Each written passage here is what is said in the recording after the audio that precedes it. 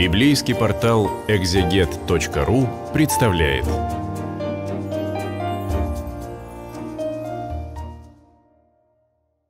Сорок вторая глава книги Иеремии в переводе Луки Маневича читаю для библейского портала «Экзегет». 41 показывает нам очень грустную картину. Страна в разорении, отдельные банды друг с другом воюют за ресурсы, убивают невинных людей, угоняют в рабство других – и приходится ждать вавилонской карательной экспедиции, потому что вавилоняне, которые захватили Иерусалим, не потерпят их э, наместника, их ставленника Гедалию убили вместе с некоторыми вавилонскими воинами. Что же делать, что же делать? И вот народ разбегается кто куда. Логичным кажется бегство в Египет. Египет и Вавилон – две соперничающих больших державы. Если мы боимся Вавилона, мы уходим в Египет. Ну, наверное, если наоборот, то наоборот. А как Иеремия во всем этом? Что он скажет? Вот до сих пор его не слушали. А теперь все плохо, и оказалось, он был прав. Все вы начальники, Ахарнан сын Караях, Азария сын Хашаи, весь народ от мала до велика, пришли и сказали пророку Иеремии, «Исполни нашу просьбу, помолись о нас, Господу Богу твоему, помолись об этих уцелевших людях. Ты видишь, немного нас осталось, а были мы многочисленны. Пусть укажет нам Господь Бог твой, какой избрать путь и что делать». А вот э, он им всю дорогу говорил, какой избрать путь и что делать, пока Иерусалим не разрушен. Но пока Иерусалим э, стоял, э, храм существовал, богослужения совершались, им казалось, они и сами это знают. А вот теперь кто, куда пойти, что делать, как кто нападет, кто отнимет, где найдем безопасность, вот теперь пророк очень нужен, когда, собственно, уже изменить почти ничего нельзя. Пророк Иеремия ответил, «Я внял вашей мольбе, я помолюсь Господу Богу вашему, как вы просите. Все, что ответит вам Господь, я возвещу вам, не утаю ни слова». Вот они уже им пользуются просто как э, ну, советчиком в трудной ситуации, да? Они сказали Иеремии, да будет Господь нам свидетелем, правдивым и верным, мы все сделаем так, как скажет нам через тебя Господь, Бог твой. Будь то доброе слово или злое, мы подчинимся голосу Господа, Бога нашего, которому мы тебя посылаем. И будь мы благополучны, повинуясь Господу, Бога, голосу Господа, Бога нашего. Были бы вы благополучны, если бы раньше так себя вели. Через десять дней было Иеремия слово Господне. Призвал Иеремия Еханана, сына Кареха, всех его начальников и весь народ от мала до велика, и сказал им, «Так говорит Господь Бог Израиля, которому вы посылали меня, чтобы я молился о вашем прошении. Если вы останетесь на этой земле, я укреплю вас и не разрушу, насажу вас и не вырву, ибо я сожалею о беде, которую послал вам. Не бойтесь царя Вавилонского, которого вы боитесь. Не бойтесь его, говорит Господь, ибо я с вами. Я спасу вас от его руки, вас избавлю.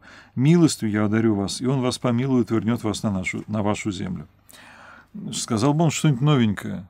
Повторяет, собственно, то, что он говорил всю дорогу. Вавилонинам придется сдаться. Потому что это от Бога, потому что вавилонское нашествие – это не просто внешние обстоятельства, это э, ну, то, что Господь наводит на эту землю, то, что должно изменить людей, которые не хотят меняться сами. Оказывается, и повторять не надо было. Но вот в трудной ситуации люди желают услышать это еще раз и более конкретно. Если же вы не повинуясь голосу Господа Бога вашего, скажете, мы не будем жить на этой земле. Если скажете, мы пойдем в Египет, там войны не увидим, боевой трубы не услышим, голодать не будем, там станем жить, то слушай такое слово Господне остаток Иуды. Так говорит Господь воинств, Бог Израиля. Если вы решите уйти в Египет, придете туда и там поселитесь, то меч, которого вы боитесь, настигнет вас там, в Египте, и голод, которого вы страшитесь, последует за вами туда, в Египет, и все там умрете. Все люди, решившие идти в Египет, чтобы там поселиться, умрут от меча, от голода и мора. Никто из них не выживет, не спасется от беды, которую я пошлю им. Даже вот так многократно э, перечисляя и запугивая, он, собственно, повторяет то, что говорил раньше. Да? Пророчество не меняется. Оно может отчасти исполниться, оно может нравиться, не нравиться, но оно остается прежним. Так говорит Господь воинств, Бог Израиля. Яростный гнев мой пролился на жителей Иерусалима, так и на вас прольется моя ярость, когда вы придете в Египет. Вы будете обречены на проклятие, ужас, поношение и позор, и не увидите вы больше этого места. Казалось бы, какая разница, жить в разоренной Иудее, где уже так мало чего осталось, или уйти в Египет, пусть чужую страну, но относительно благополучную. Вечная проблема, эмигрировать ли? Он говорит нет. Причем э, очень жестко, принципиально возражает против эмиграции. Почему? Ну, э, он говорит с людьми, которые не пытались исправить свою жизнь на своей земле, пока он к ним обращался раньше, до катастрофы. После катастрофы оставайтесь там и начинайте что-то исправлять. Не бегите от себя. Это не получится. Не пытайтесь найти такое место, знаете, как животное больное, вот оно ходит и ищет, где ему будет хорошо. Ему кажется, оно найдет местечко, где можно будет прилечь и болеть перестанет. Вот не пытайтесь найти место, где у вас не будет болеть. У вас болеть будет везде. Поэтому здесь и сейчас начинайте работать над тем, чтобы измениться. Остаток Иуды. Остаток вот то, что сохраняется, когда все погибло остальное. Господь сказал вам, не идите в Египет. Знаете, что сегодня я предостерег вас. Вы согрешили против самих себя. Ведь вы послали меня Господу, Богу вашему, сказав, помолись о нас Господу, Богу нашему, и все, что скажет Господь наш, возвести нам, мы все исполним.